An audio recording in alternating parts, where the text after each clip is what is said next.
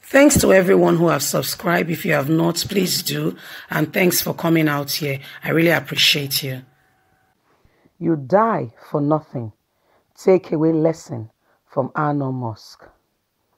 Malam Nuhu Ribadu, Pania chairman of the Economic and Financial Crime Commission, scored a major political goal on Saturday when he brought Nigerian political and business elites together at the Al Noor Mosque in Abuja. They came to attend the wedding of Nuhu's two sons, Mahmoud and, Abba, and Abubakar Saheed, to their beloved partners, Aminatu and Fatima. President Buhari was the only major political actor that was absent, but he was ably represented by, the, by a delegate led by Chief of Staff, Ababa. Luckily, the wedding was held without any incident. Photos of Tinubu and Atiku discussing at the wedding. However, images of the occasion offered some sovereign lessons to Nigerian politi polit politicians' followers who break bottles and kill themselves all in the name of politics. At the top, the elite, they can't be, to use a pidgin phrase, made popular by former President Olusegun Obasanjo. The political elite surely know how to sort themselves out despite superficial differences on political talks. Just watching Vice President Yemi Osinbajo and former Vice President Atiku Abubakar sharing a big mouthful laughter watching Bola Tinubu and Atiku discuss as old friends or Delegate Economic Minister Issa Pantami sit calmly beside Abubakar Atiku.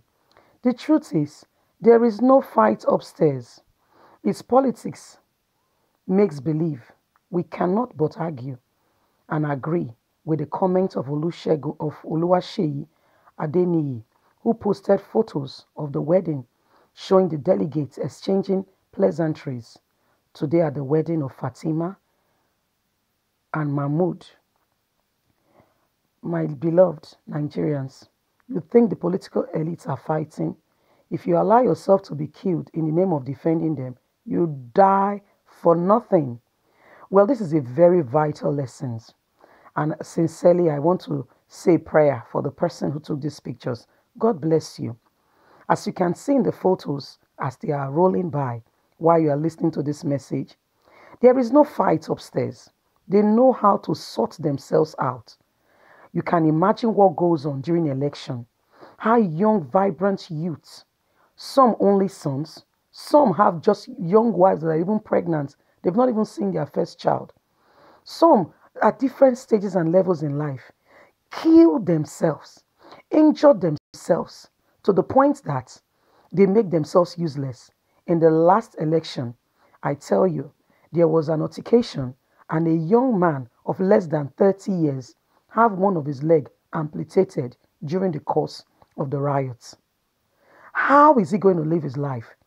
Whatever party he's supporting, APC or PDP, do not even know or recognize him. He's going to be there for his rest of his life, one leg less.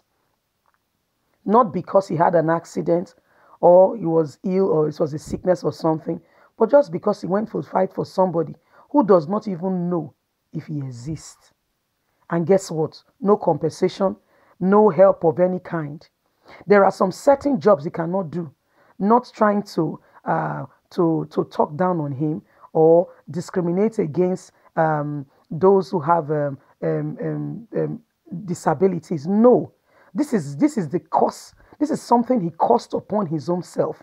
There are some certain jobs, some certain speed he cannot do in life. Take for instance, if he was an athlete, he can no longer play football effectively, running around on two feet. He can no longer. There are some certain things he can no longer do for sure. And guess what?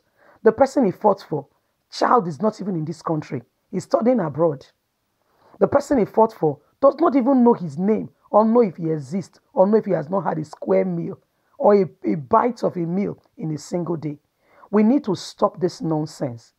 Let them sort out themselves. It doesn't matter how much you are paid or given. Please be wise. Like the pidgin English says, they, they can pay, they know how to sort themselves out. Don't get yourself involved in their political space. Don't be used. Don't be used. Did you hear what recently just happened? Buhari's daughter used the presidential jet for her own private, her own, her own movement, and was received in in a in a in an in a, in a kind of in a kind of exotic manner by even the very emir and the governor's wife of Bauchi State. You are there fighting for them. Ah, please take brain. Be wise. Be wise. They don't care about you. They are all out there to sort out themselves and for their own selfish gain and purpose. They are even training their children to come over and to come and rule over you if you are not careful. If we don't sit up, Nigerians. So let's stop this fighting of ourselves in the name of APC PDP.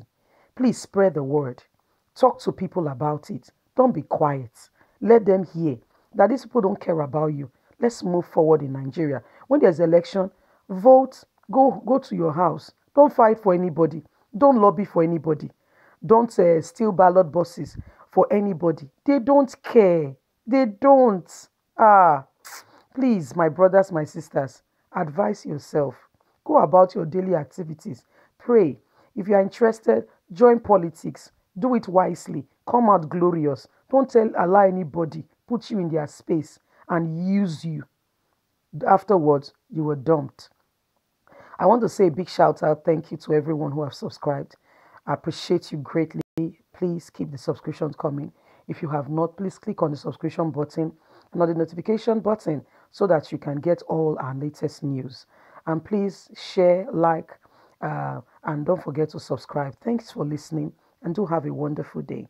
God bless. Don't forget to leave a comment at the comment section. Have a lovely day. Bye.